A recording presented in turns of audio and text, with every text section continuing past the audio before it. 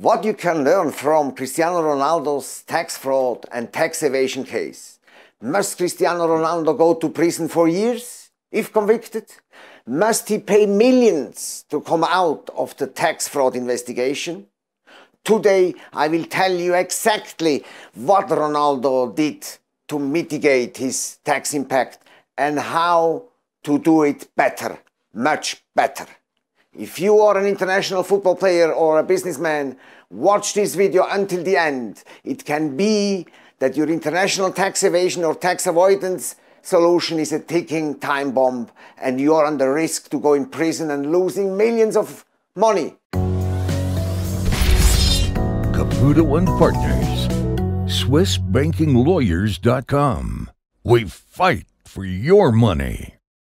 Hi, here is Enzo Caputo with SwissBankingLawyers.com from Paradeplatz in Zurich, Switzerland. Cristiano Ronaldo has taken benefits from a privilege named Beckham Law or Law Lex Beckham.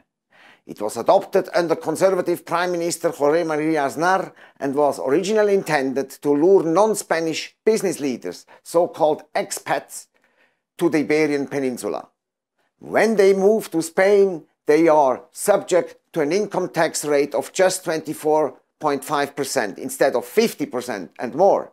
It was named after the former England football star David Beckham because foreign players also fell under the law and Beckham was the pioneer. The Beckham law has been abolished for sports stars. At the end of 2014, Ronaldo's international taxation trick consisted in selling and transferring all his expected future income based on his intellectual property rights, also known as IP rights, starting from the 1st of January 2015 for a period of five years to a British Virgin Island offshore company controlled by a third party. It was imperative to close the transaction before the new law came into force on 1st January 2015. According to the Swiss press, the CEO of the bank Mirabaud, Mr. Antonio Palma, was aware of this transaction. According to rumors in the Swiss private banking industry, the British Virgin Island offshore company had a bank account with Bank Mirabaud. This bank account has been used to execute the forward transaction with Ronaldo's intellectual property rights. Palma, the CEO of Bank Mirabaud with Spanish origin, has facilitated the account opening process.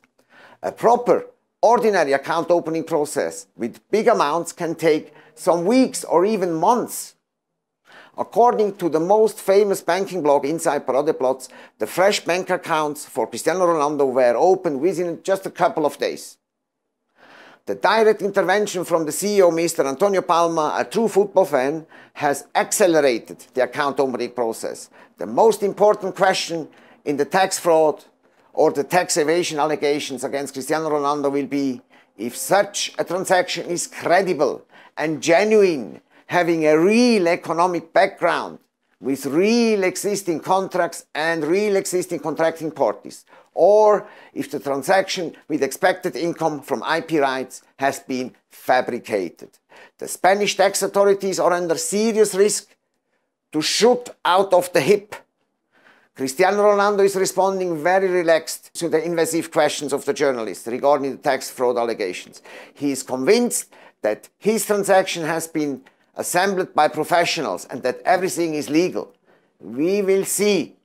This example shows how important it is to have the support of experienced professionals in international taxation.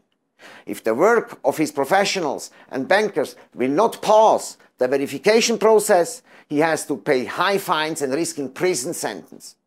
Anyway, in Spain, there is always room for negotiation with the Spanish tax authorities. Ronaldo's worst case scenario is to pay some million euros based on a future tax deal or subse with subsequent settlement with the Spanish tax authorities. Bank Mirabaud has no benefit. Bank Mirabaud's reputation is under risk. Bank Mirabaud has offices in Spain. Critical. Bank Mirabaud should pay attention to not enter in the headlines of newspapers Reputation is everything for a private bank. It needs decades to build up an impeccable reputation and just some hours to destroy it. Bank Mirabaud will argue to have done everything right. Bank Mirabaud will argue that helping rich people and celebrities to mitigate the tax impact is not a crime. Time have changed. The Spaniards see it differently.